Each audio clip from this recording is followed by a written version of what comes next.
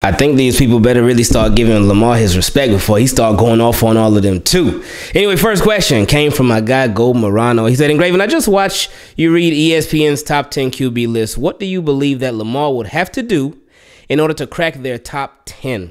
Uh, it's my opinion that every name that you read leads a team in which the GM invests heavily in the wide receiver corps placing their QBs in the best possible situation. If Lamar was a QB for any of those teams, he'd have to run a lot less, and those media outlets would respect him in a different way. Get DK Metcalf, as DeCosta should have already done, and watch the respect level go through the roof. Metcalf would probably have all the prognosticators picking the Ravens as the favorite to play in the Super Bowl, and for Lamar to be awarded the MVP once again. Ooh. Man, Ravens got DK Metcalf, and I told y'all this before. Like I'm, I'm like, okay, yeah, all right, Super Bowl, Super Bowl, yeah, they okay, yeah, they could do it for sure, for sure now.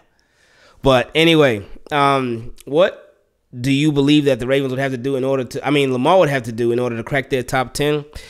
Um, I think the real question is what would what does Lamar have to do in order to to really gain the respect uh, of a lot of the media because with the media um, they control a lot of the people's thinking. They control a lot of fans thinking because again something that we've said on here for a long time. People will watch nfl network espn blah blah blah. They watch whatever. And they'll be like oh okay. These guys in the suits on the shows the analysts and commentators and experts they all saying it. Okay so it must be true. It must be true and a lot of stuff that they say, and not only about Lamar Jackson, it happens with other quarterbacks, other just players in general too. Um, a lot of what they say, it can be dead wrong, and and, and it's tough for them um, because a lot of these commentators are in such tough positions because they, they they have to cover so many different areas and so many different topics that they can't really focus in on one specific player, one specific game. They just look at a stat sheet and it's like, oh, okay, got some talking points. Okay, let's go. So so I, I can't. Not that I can't blame them because they do go on air and say what they say. and they, they get the check to do that. But they're in a very, very tough position. Um, that they just it's it's like again jack of all trades but master of nothing. It's one of those type of things. So um, one for Lamar to to crank the top ten. I don't know what he has to do really. I don't know. I don't know what have gold what 17 and 0 throw 50 touchdowns, zero interceptions. Throw for for 6,000 passing yards run for another 1200 um, have a perfect QBR, QB rating of 158.3. I, it's like he has to do, he has to have perfection or something. Um, now, as far as him gaining respect, what does he have to do to gain the respect of the media? Um, something that I said uh, back in 2018, and then I said it again in 2019. Nothing that he ever does will be good enough for a lot of people. Nothing he ever does will be good enough. And it's a sad truth. It's a harsh reality. Nothing he does will ever be good enough for some people. He can go out there, he can go 17 and 0. Ravens could win every single game on their schedule in the regular season. Won't be good enough. They're to say, hey, oh, well, let's see what they do in playoffs. They could go 3 and 0 in the playoffs, win the Super Bowl, top of the world.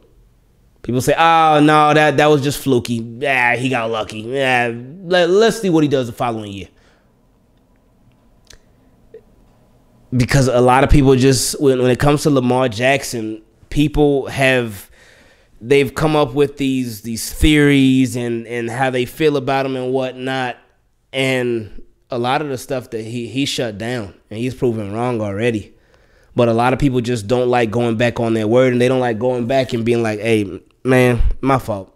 I was wrong. I was wrong. So many people just they don't they don't like saying that. They they don't know what it means to say, "Hey, I was wrong." and a lot of people can't live with that. And so for that reason, I think that um, not nothing's gonna be good enough.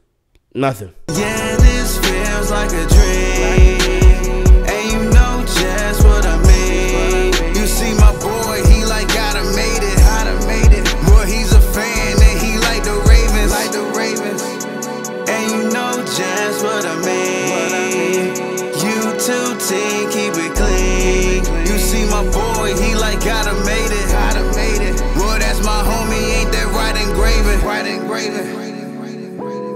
Next question came from my guy JPD. He said, What's up, Ingraven? Hope you are doing well and have the opportunity to enjoy the fruits of your labor. Uh, I wanted to ask, what are your expectations for the Ravens this upcoming season? Um, after the draft and from everybody that they signed, uh, he said, me personally, I'm just going to enjoy the opportunity and privilege of watching Lamar Jackson play QB for the Ravens, whether he signs with the team or not after this year. A lot of news and smoke screens have been released about his contract situation with the Ravens, and nothing will be set in stone until the real news breaks in regards to his future. Whatever happens, I'm going to gratefully enjoy watching Lamar play for my hometown team for this upcoming season. Oh man, it sounds like you are almost sending like Lamar a goodbye letter or something. Um, but expectations for the Ravens this season, um, based off of the team that they had, and, and health is such a big factor. You know, health is a big factor. Uh, my ceiling for them uh, would be AFC Championship right now. Based off of the team, I obviously hope that they break through that ceiling and get to the Super Bowl. But I, I think right now they are a um, they are a, an AFC Championship team. Um, I just feel like they're a receiver away. They're a significant receiver away uh, from being a Super Bowl team because they they have depth everywhere everywhere, everywhere. Quality depth everywhere. But at wide receiver, that's only that's only question mark for me. And then at um at linebacker a little bit too. But hopefully Patrick Queen can really take off this year, but we'll see. But um yeah, that's so that's what I would say. Uh I say AFC championship team. Um hopefully this this will be the year where they can win multiple playoff games because they, they they keep getting over hump after hump after hump um, so they, they they've been making improvements. They've been making strides, but it's time to put it all together and really get over a, a, a huge hurdle. Um, so it's it's gonna come come down to execution. It's gonna come down to coaching. It's gonna come down to just so many different little things. It, see, with the Ravens, it's, it's a lot of little things that can make such a big difference in just getting them to that next level. Next question came from my boy MG. He said, Hey, what's good, Ingraven? Um, assuming Ronnie Stanley is healthy so that Mekari wouldn't need to fill in at left tackle, do you believe Mekari will start at left guard? Oh, I think that's a real possibility, but also think like Mekari, he could be like just a reserve guy. He could be an extra offensive lineman. They, they could have him start at left guard, but um, I think he, yeah, because mm, they were doing a lot of flip flopping last year. With Ben Cleveland, with Tyre Phillips, with Ben Powers, they they were doing like flip flop. Um, but yeah, I, I, think it is a real possibility though because you have your left tackle, assuming Ronnie Stanley's healthy, like you said, assuming. Uh, you have your left tackle set. You have your center set. You have your right guard set. You have your right tackle, Morgan Moses, most likely set. So that's the only position where it's like, huh, who's it gonna be? Who's gonna fill that role? And they obviously love Patrick Mekari. They gave him the extension last year to keep him around uh, for the foreseeable future. Um, now, did they sign him to be that swing man, that that backup guy? Could they could have, but you know, Ravens they they try to get they try to maximize their uh, their money uh, and they try to get the most uh, for their dollar. So yeah, I could see him starting there. He said, reason I say that uh, is he is very versatile. We re-signed him towards the end of the season, and he is relatively healthy. I think Tyre Phillips, Powers, and Cleveland are very solid quality depth guys, but I think Mekari is too good and expensive just to be a six man. Your thoughts? Stay safe and peace. And oh, and this guy, he said, and say hi to Lamar for me. Appreciate you, man. Next question came from my guy Phil. He said yesterday, NFL analyst Dan Orlovsky, uh, and former NFL quarterback, uh, he said made a great point on Twitter of how the coaches and owners who do the voting on top ten at each position don't respect today's game with mobile QBs coming out of college and mainly focus on old school pocket passers and their season high passing yards. Well, makes sense. Uh, Orlovsky pointed out that Lamar, in his three out of four years as a starter, has averaged 4,300 combined yards, 35 touchdowns, 12 wins with a 37 and 12 record, which is a 76% win percentage and has made the playoffs three out of his four seasons. Also mentioned with these stats, he belongs in the top 10 instead of Herbert. What are your thoughts? Yeah, I mean, you know how I feel about that already. We done gone over that a lot. Um, top ten for Lamar for sure. I, I feel like that's that's no question. I feel like it's not even debatable, really, um, because you look at you, especially when you mentioning Herbert specifically, you just look at the impact, man. Look look at the impact, uh, and think think about this. To really like get a visual, uh, not necessarily a visual, but anyway, think about this. What if they flip teams? What if they flip teams? What if Herbert was on the Ravens and Lamar was on the Chargers? I guarantee them Chargers will go off, man. With those, ooh, them, them Chargers will go off. Herbert on the Ravens, though, ooh, he would get destroyed he would get destroyed. Well, he is a little bit mobile, but I don't think he'd be mobile enough. He'd get destroyed. And he'd be like, you got this tall quarterback. He he'd be looking down on all his receivers like, hey, like fee five four fun, man. But just so yeah, again, Her, Herbert's a Herbert's a baller, man. He's a baller. So I ain't trying to do this thing where oh you put these quarterbacks against each other and you gotta pick one and or you you hate one and you love the other. No, I ain't nothing like that. Herbert is a baller. I I I love Justin Herbert, but um, with Lamar Jackson, uh, just his impact and everything that he has to do, everything that's required of him in order for the Baltimore Ravens to be successful, that puts him in the top 10, no doubt. It won't be a bad move to make. Next question came from my boy Kevin B. He said, I like Carlos Dunlap the most because he can get up the middle. What's your thoughts? Ooh, Carlos Dunlap. I thought I thought somebody had signed him already. Uh, Carlos Dunlap, former uh Cincinnati Bengals, so he would fit right in with the division. Um, I wouldn't be mad at it.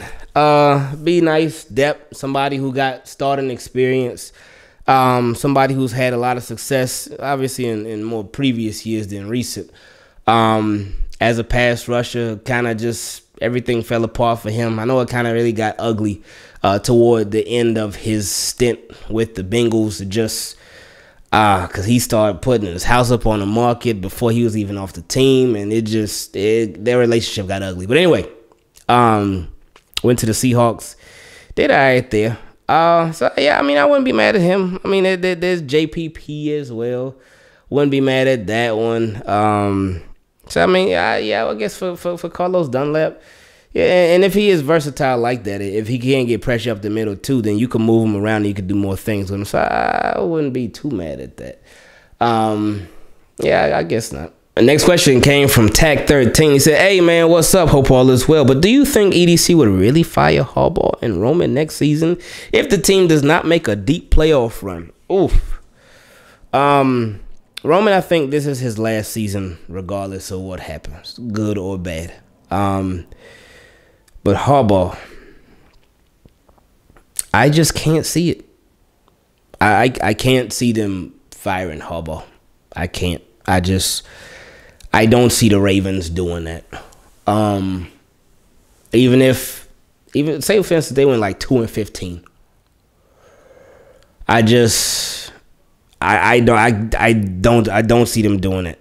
Um, and he said, and if so, who, uh, if so, do you think the team already has potential candidates on for those positions uh, on the team?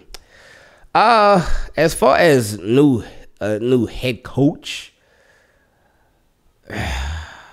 maybe, but I don't, I don't think so. But um, maybe it would just eh, all this depends on so much.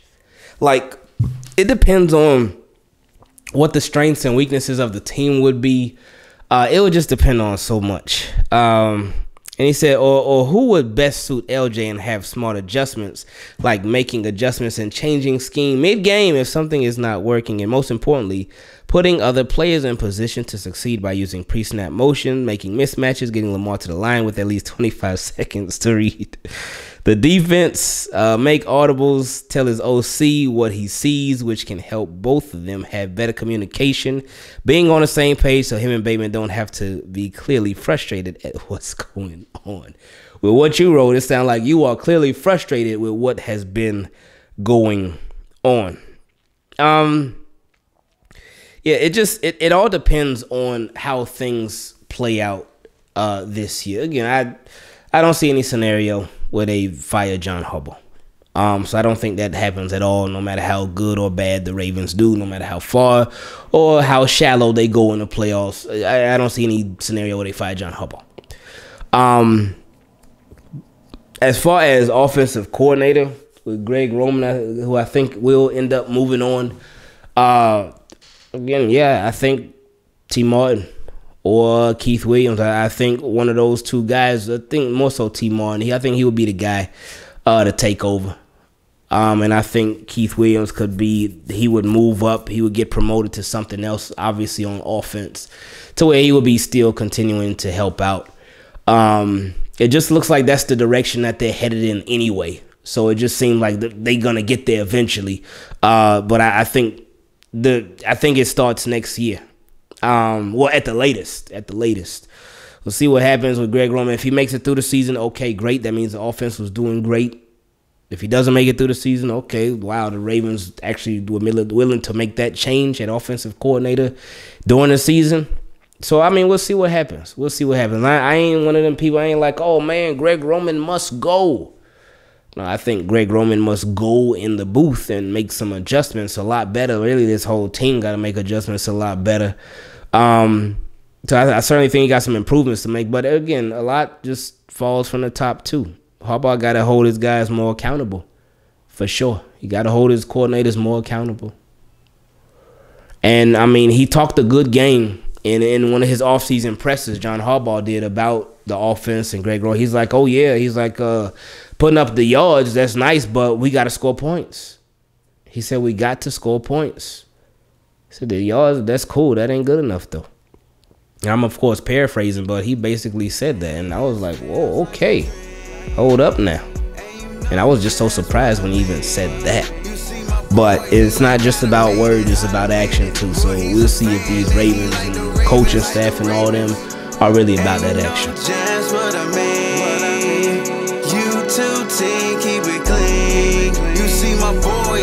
Gotta made it. Gotta made it. Boy, that's my homie, ain't that right Ingraven? Right Ingraven. Shout out to Ingraven.